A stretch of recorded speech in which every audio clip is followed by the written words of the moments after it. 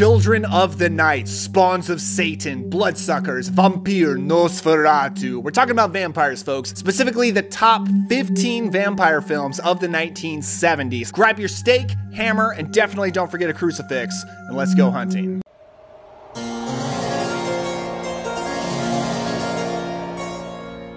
How's it going, my friends? Welcome again to the Cobweb channel. My name is Daniel, and as today we're continuing with this ranking series on vampire movies that we kicked off recently with the top 15 Dracula movies video. Now with the top 15 vampire films of the 70s, I almost didn't put my number 15 on this list. But you know what? It's interesting, it's unique, definitely has a cultural impact, and I want to talk about it. So for my number 15, we're putting Blacula from 1972. So in Blacula, we kick off in the 18th century where an African prince is visiting Count Dracula in Transylvania. After they have a bit of an argument, Dracula curses him by turning him into a vampire for all time. Seems like a reasonable reaction, right? But picking up modern day in the 1970s, this African prince, Prince Mamuwalde, is resurrected from the dead and is now on the hunt for the reincarnation of his lost wife. So often when people hear the title Blackula, they're expecting some kind of a spoof. I mean, the title is a pun. It's blaxploitation Dracula, duh. But actually, the movie takes the premise very seriously and is a legit horror film. You might even say it's a legit horror romance. So by far the best thing in this movie is William Marshall as Prince Mamuwalde, or Blacula. That's not his name, that's just a silly title. No, he is a strange dude. He's great in this movie, such a commanding presence, a deep booming voice. He's also one of the most sympathetic vampires. Now, the tradition of a vampire being a tragic figure who doesn't want to be a vampire but is cursed with this and really is just a romantic who wants to reunite with his lost love, typically a reincarnation of his lost love. That's kind of a cliche now. We've seen that a million times. Not as common in 1972. We did get to see some of that in Dark Shadows for sure. But Dracula movies were not typically like that in this time period. But here we've got a very sympathetic vampire who has a pretty legit romance with this woman who's the reincarnation of his wife. We really do care about them, and they're a nice couple in this movie, despite the fact that he's a blood sucking vampire. Now, I did hint when I started talking about this movie that I do have problems with it, and I do. I think the biggest problem is just the direction. This film's directed by William Crain, who basically just did television before he did this movie, as far as I know.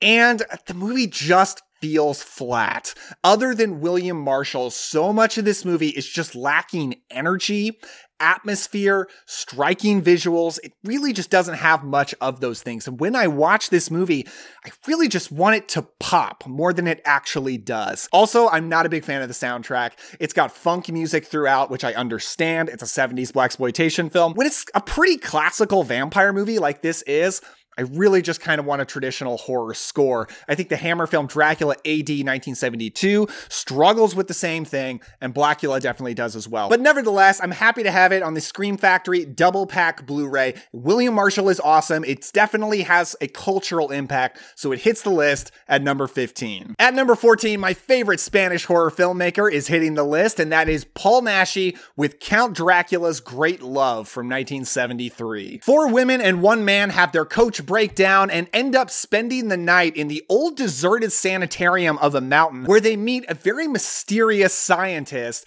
played by Paul Naschy, and wouldn't you know it, he turns out to be Count Dracula. Now, this movie starts out as a pretty typical Dracula Prince of Darkness knockoff, the Hammer film from the 1960s. The most typical gothic horror premise you've ever seen, where people unexpectedly have to spend the night in a spooky mansion and they turn out to get a lot more spookiness than they bargained for. Weird thing about this movie as a Dracula movie is for a while you, I guess, technically aren't supposed to know that Paul Naschy is Dracula. He gives a different name. He pretends to be just some random guy. He really just seems like some random guy. And it's not until like the final third, maybe second half, that we find out that he's Dracula. And this movie takes a very strange idea in that whenever we see him as Dracula, we don't actually watch him talk. We just telepathically hear his thoughts booming. It's a very strange effect, and it's one of the reasons the final third of this movie is anything but a Hammer Dracula knockoff. It gets really trippy and weird in a way I totally was not expecting.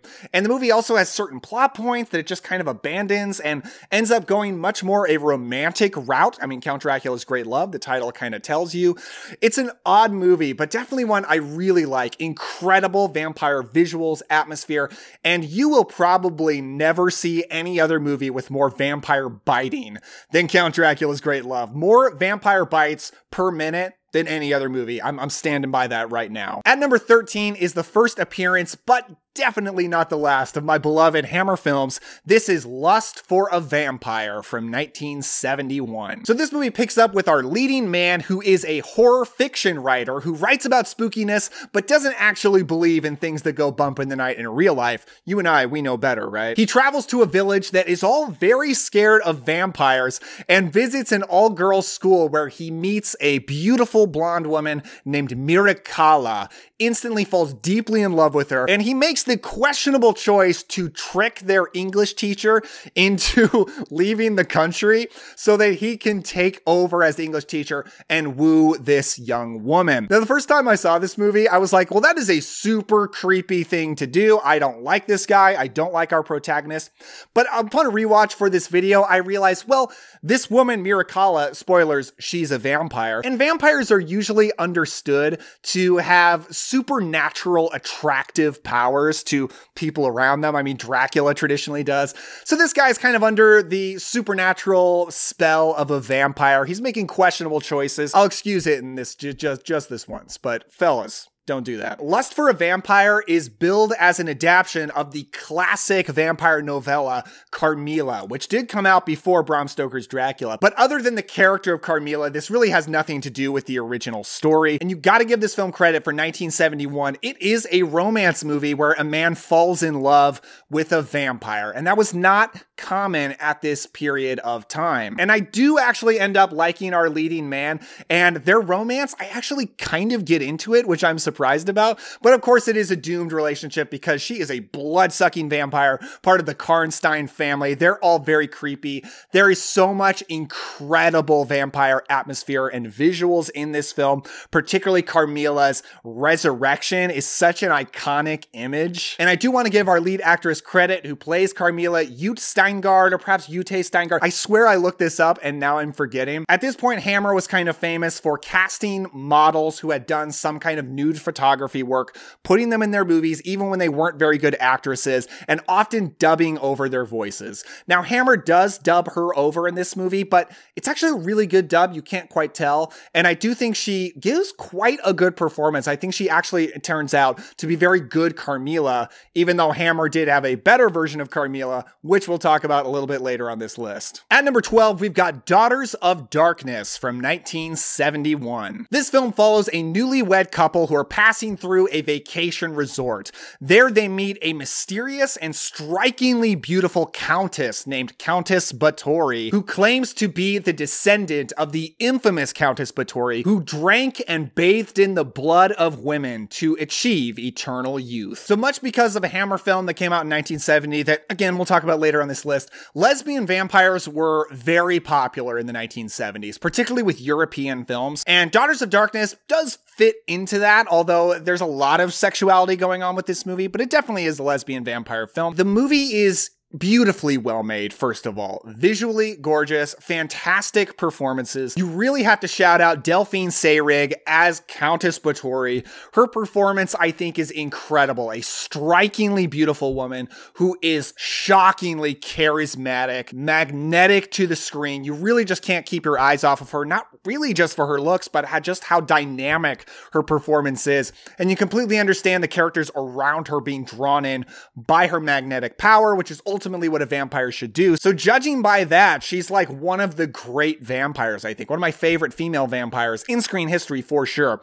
And because there is a lot of sexploitation with vampires in the 1970s, that was very prevalent. A lot of vampire films are trying to be sexy. I do think there's a lot of them that don't really achieve that, but Daughters of Darkness does. There's definitely a very palpable eroticism to this movie that is very effective. Yeah, it's hot.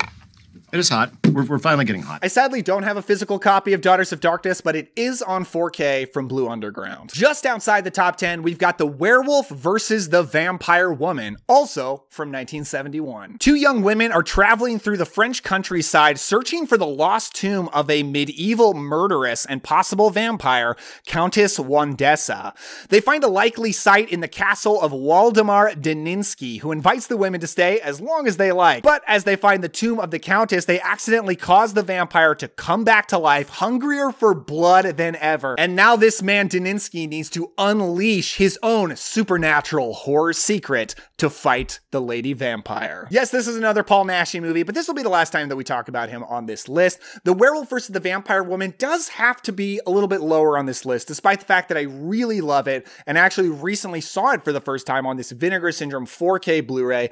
Absolutely love this thing because I do think this movie is a better werewolf movie than it is a vampire film. I do like the vampire woman. She has a very atmospheric presence and she also turns another woman into a vampire. I love her look. Just got teeth hanging out of her mouth. It's such a classic pulpy 70s look to a vampire with a lot of slow motion to make them even creepier. But it is the werewolf stuff with Paul Naschy as Waldemar Daninsky, this ca- werewolf character that he played over many, many movies that I do think is the standout of the movie. But still, it's a 70s vampire movie and I really love it. I like the romance between Paul Naschy and our leading lady. Really big fan of that woman as an actress. I don't know her from anything else, but she's fantastic in this. And Paul Naschy, he's just He's an awesome werewolf, just one of the best. Cracking into the top 10, Hammer Films is back with Vampire Circus from 1972. Vampire Circus basically kicks off with a typical climax to a vampire film, played very quickly. It's like the Mad Max Fury Road of vampire films for about 10 minutes. The citizens of a small countryside village get really riled up about the count who lives in the big castle over there, who is a vampire and is stealing their wives and daughters,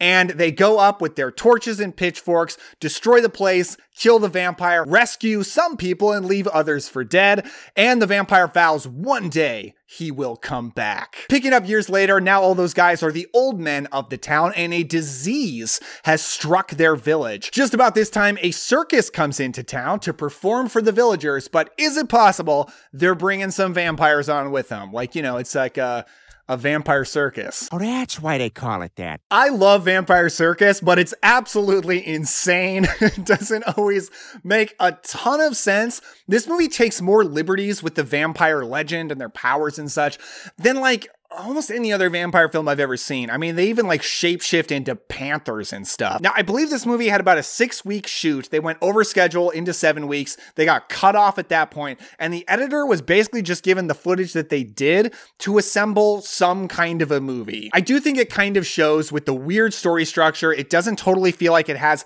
a single protagonist. You kind of get these two teenagers who emerge as the protagonists in the second half of the movie. And I do think they're very likable. And I like just this is a classic Hammer movie from the perspective of basically kids. But yes, it's weird. It's all over the place. I'll just go ahead and tell you the main vampire who vows he will return to destroy the village one day, he gets resurrected in like the last two minutes of the movie. So I have to assume there was supposed to be more, but this is what we got of him. I respect this movie because it's clearly trying really hard to be different and unique at a time when this genre was pretty overcrowded. I actually don't own this one on Blu-ray. It's very available on streaming, but you can get it on Blu-ray from Synapse. At number nine is the TV adaptation of the classic Stephen King novel, Salem's Lot from 1979. Author Ben Mears has returned to his hometown to write a book about the supposedly haunted mansion in the town. When people around this house start dying mysteriously, Mears discovers that the owner of the mansion is actually a vampire who is turning them into an army of undead slaves. I don't often include TV stuff on my list, but this is only a two part miniseries,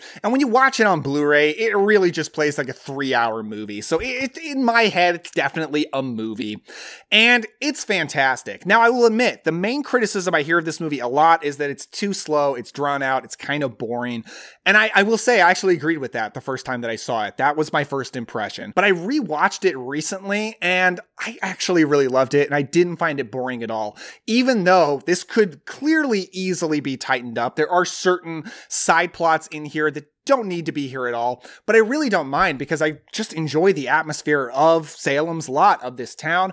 I enjoy the main character of Ben Mears, his romance with Bonnie Bedelia, random townspeople around. It's a very typical Stephen King kind of a town, and that's just a vibe I love to live in. But you've got to shout out the lead vampire, Kurt Barlow, played by Reggie Nalder. This thing is visually incredible. They clearly went for a Nosferatu like design, but went even further by making him completely blue, having these glowing eyes. It's one of my favorite vampire designs of all time. I think it is so cool. Now, he's not in the movie a whole lot, but when he shows up, my God, it hits. You will not forget a single shot of it. But the crazy thing is, it's even debatable if that's the best vampire stuff in the movie because the scenes of a vampire child floating up to the window of another child might actually be the most genuinely frightening vampire imagery that has ever existed on film. So shout out director Tobe Hooper, director of Texas Chainsaw Massacre, for making this honestly pretty landmark TV miniseries.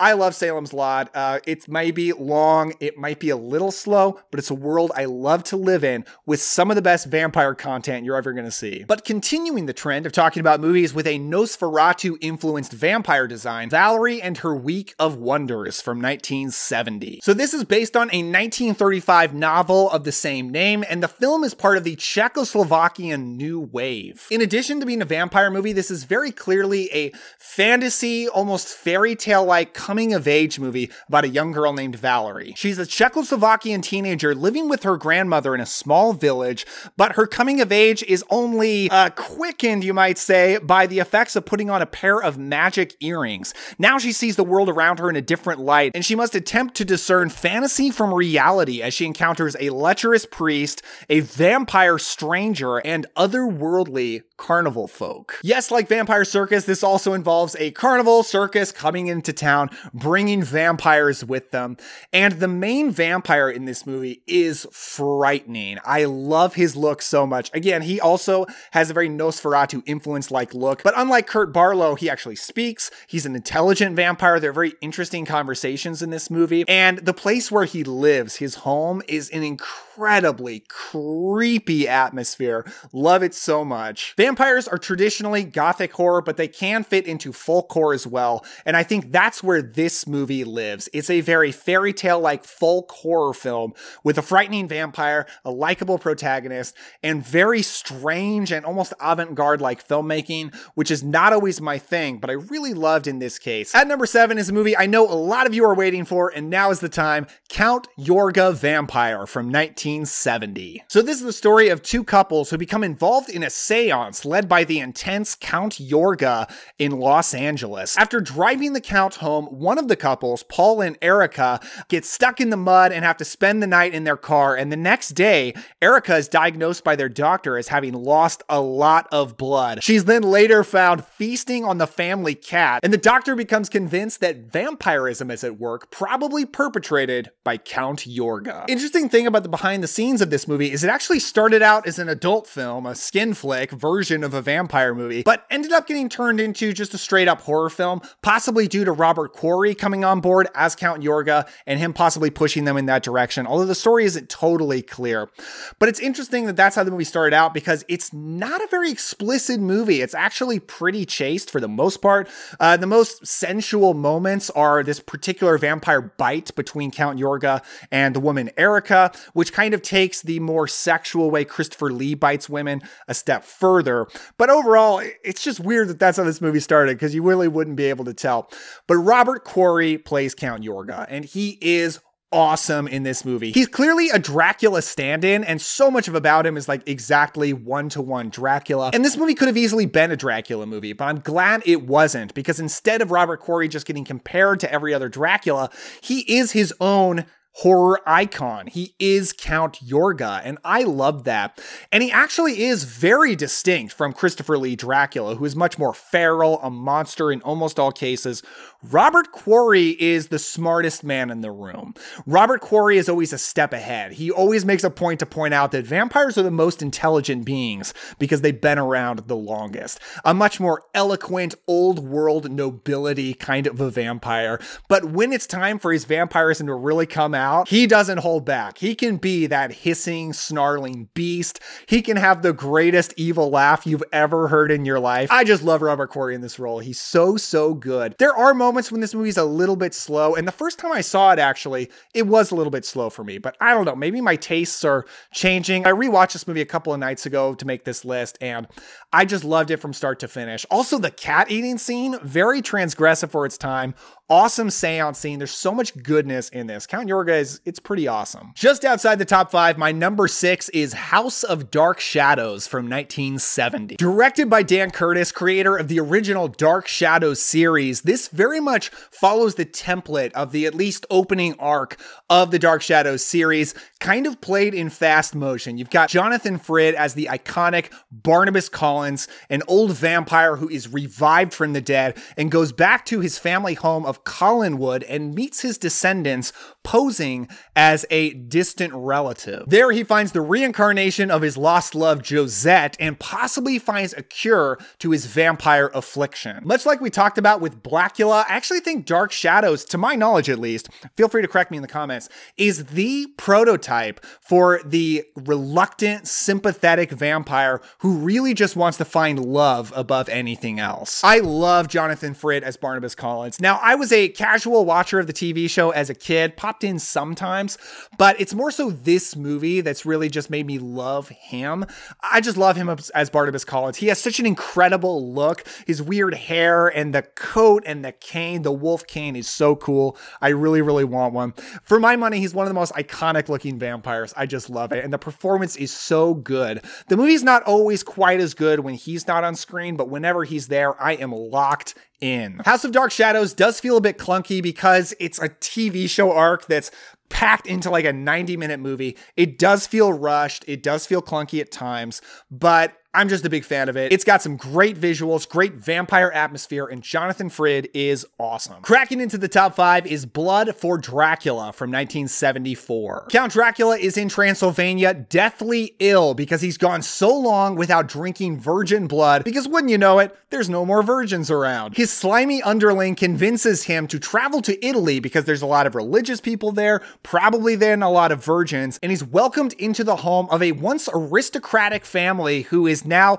desperate to marry off their daughters to wealthy suitors, and there he gets to bite his way through these women and finds they're not quite as pure as he thought. This was also released under the title Andy Warhol's Dracula, but it's written and directed by Paul Morrissey right after he made Flesh for Frankenstein, also with Udo Kier. And I've yet to find a good answer for why it was called Andy Warhol's Dracula. If you know, let me know in the comments below. I would love to find out. But anyway, this is a bizarre telling of Dracula. It stars Udo Kier as a pathetic and slimy version of Dracula that Dracula sometimes is very alluring, but here he's just like gross. I've talked about this movie on my channel a lot recently, but one thing I haven't talked about is Joe Dallesandro, who plays Mario, who's like the manservant of this aristocratic family, and kind of ends up becoming the hero of the story, the one to figure out Dracula is a vampire, wouldn't you know it? And the interesting thing about him is he is despicable. He's like almost as bad as Dracula, except I don't think he's quite a murderer, but he's just this super sleazy big guy who's having an affair with multiple of the daughters. And once he turns against Dracula, he just goes full on like action hero violent mode. And the finale of this movie is so insane and bloody. This showdown between Dracula and this this guy Mario.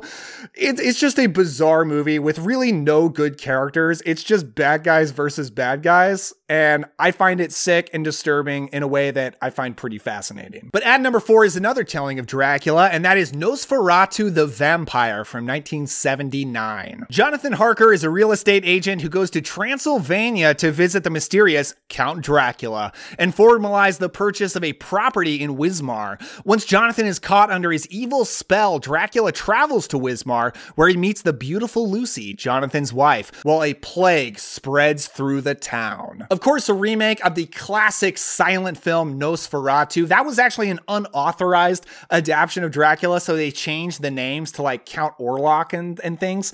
And uh, this one, while being a remake of that, does use the classic name. So this is Dracula, Jonathan Harker, and such. But Klaus Kinski as Dracula does have that classic Max Schreck look, that Nosferatu look of being bald and the ears and the rat like fangs. Klaus Kinski is incredible in this movie, much like Udo Kier, but even more so. This is a sick and disgusting version of Dracula he just comes across as pitiful. Just this deteriorating, ancient creature who has been living out in away from all civilization in the old world for centuries and now finally wants to reconnect with the outside world. You just feel like every second Jonathan Harker has to spend with him is deeply uncomfortable and then he wants to get away from this gross creature as fast as possible. I actually like this movie better than the 1920s version. I think it's more visually beautiful. I think the story is a bit deeper, particularly the ending and especially the way it treats the character of Lucy and how she is able to contribute to Dracula's demise is far more meaningful and fascinating. And the final twist ending is something I've never seen in a Dracula adaptation before. All right, I've hinted at this one a few times, and now we're going to talk about it. My number three is The Vampire Lovers from 1970. So this movie opens up with a vampire family called the Karnsteins being killed off by a baron whose family was victimized by these vampires. But one he doesn't successfully kill off is Carmilla Karnstein, who in this movie is played by Ingrid Pitt. Years later, a countess is visiting a general and his family. And when the Countess is called away to tend to a sick friend, she leaves her daughter, Mircalla, also played by Ingrid Pitt, uh, with the family to be a companion for the general's daughter. But then the villagers start dying. The general's daughter becomes very weak and pale. Could it be that Mircalla is actually Carmilla the vampire. Yes, it is. Absolutely. This is also based on that classic vampire novella, Carmilla. And supposedly, although I haven't read that, it is the most faithful adaptation of that story. In 1970, Hammer was looking to capitalize on the fact that the British film censors were relaxing quite a bit. They were proposed with the idea of adapting Carmilla, and that really became their avenue to make a more explicit movie, partially in terms of the violence, but much more in terms of the sexploitation aspects. This this is the lesbian vampire movie. There were a lot, especially in this period, but this is the prototype and probably still the most well known. Ingrid Pitt as Carmilla is incredible. While on one hand, she was too old for the role, she was 32 when she did this movie. Carmilla is supposed to be a teenager, so there are parts that feel a little bit confusing because it's like, well, this woman is clearly in her 30s, but she's awesome in this. Incredibly charismatic, magnetic, of course, beautiful, looks amazing with the vampire feints. Ingrid Pitt is known as one of the classic Hammer actors with Peter Cushing and Christopher Lee, and it's almost entirely off the strength of this one movie. So that really just shows you how iconic she made herself with this film. Hammer made so many beautiful movies, but this is one of the most visually gorgeous. The Victorian period, the fog and the sets. It's just incredible looking movie from start to finish. And shout out Peter Cushing as the general. He's great in this movie, even though this isn't one of his most interesting roles. But the hero that I actually end up liking more is Douglas Wilmer as the Baron who first kills off the Karnsteins. He kind of comes across as a more badass hero than even Peter Cushing is, and I love him in this movie. I have the Vampire Lovers on the original Scream Factory Blu-ray, but they have since released a collector's edition. At number two is the final Dracula adaptation we're going to talk about on this list, and this is John Badham's Dracula Dracula from 1979. Unlike many other adaptations of Dracula, this film kicks off with Dracula arriving in England. It is all about Dracula integrating himself into English society, particularly with the characters of Jonathan Harker, Mina, and Lucy. So Dracula in this film is played by Frank Langella, and he's one of the least monstrous versions of Dracula. If you hear Frank Langella talk about this movie and his take on it, he very much sees Dracula as an erotic, handsome, handsome kind of, you get the sense he thinks like the ultimate male kind of a character, which I think if you read the original Bram Stoker novel is a weird, unusual take, but it does make for the fact that Frank Langella is a unique Dracula. He never shows fangs in this movie, but this is very much a gothic romance film between him and Lucy. You almost like him more than you like any other character, and you start to feel yourself pulled to root for him and Lucy, even though he's definitely a vampire and definitely kills people in this movie. Jonathan Harker I don't find very likable in this movie, and you get Laurence Olivier as Van Helsing, who also I think doesn't make a big impression and isn't terribly charismatic or interesting near as much as Frank Langella as Dracula does. And when you get to the end of this movie, I think it becomes clear that that's what they're going for. And this is very much a gothic romance starring Dracula. I actually think Frank Langella is great as the character, and he does still have some creepy scenes, whether it be him arriving at somebody's window or crawling up a wall. And there are similarities you will notice between this and the Coppola version of Dracula from 1992. So I kind of feel like this is the prototype. But at number one is the 70s vampire movie I rewatched the most that I love so, so much, and that is Twins of Evil from 1971. The devil has sent me twins of evil. So this is the third film in Hammer's Karnstein trilogy, but it really has nothing to do with the story of Carmilla like the first two do, and this really feels like a prequel to those stories, telling the origins of how Count Karnstein became a vampire. While dabbling in the occult and Satanism, Count Karnstein resurrects Mircalla Karnstein, who initiates him into vampirism. As a rash of deaths afflict the village, Gustav, the head of a Puritan group, leads his men to seek out and destroy witchcraft. He has two twin nieces who come to visit him, and one becomes enamored with the vampire. I have often referred to Twins of Evil as a kitchen sink horror movie,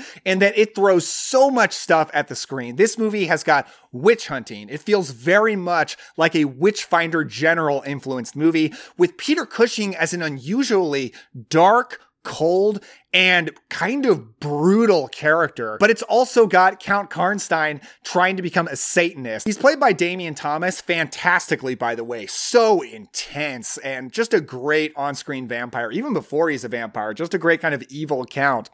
Um, and he essentially gets into Satanism because he's bored. He has this great line where he says, Drinking blood is the most extreme of Satan's delights. So he basically wants Satan to turn him into a vampire so he can do something more interesting with his life. But you got to talk about the the twins of evil, right? Played by the Collinson twins, who were Playboy models at this time. Their voices are dubbed over, but I do really like them in this movie. They're dramatically different. One of them very much wants to have fun and wants to rebel against her evil, pious uncle Gustav, and the other one is very sweet and innocent and doesn't want to step out of line. Great, great vampire content, Satanist rituals, witch burning. Just for like a full core gothic horror fan, it's really just got everything you could possibly want. I love Twins of Evil, vampires versus evil witch burners, and it's an awesome movie. Just by far my favorite of the Karnstein trilogy, the most fun, entertaining, one of the best Hammer films ever made, I think, and one of my favorite vampire films of all time. So that's my list, folks, but let me know down in the comments below what are your favorite 70s vampire movies. And if you enjoy this, check out this playlist right over here of other best of lists that I've done, especially around a lot of horror topics. Give a like if you enjoy this and subscribe for more videos like this because my favorite 80s vampire movies is coming soon. And don't forget to take some time to enjoy yourself today and have some fun, and I'll see you next time.